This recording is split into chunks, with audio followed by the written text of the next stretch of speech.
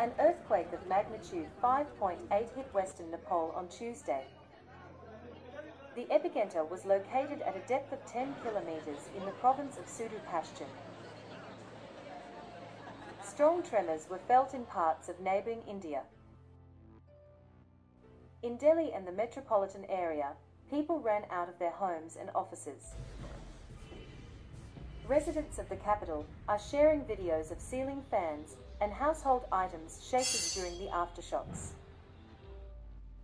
According to information from Nepal, at least three houses collapsed there. Rescuers and local authorities find it difficult to obtain additional information on the spot due to adverse weather conditions and lack of communications. We hope there were no casualties.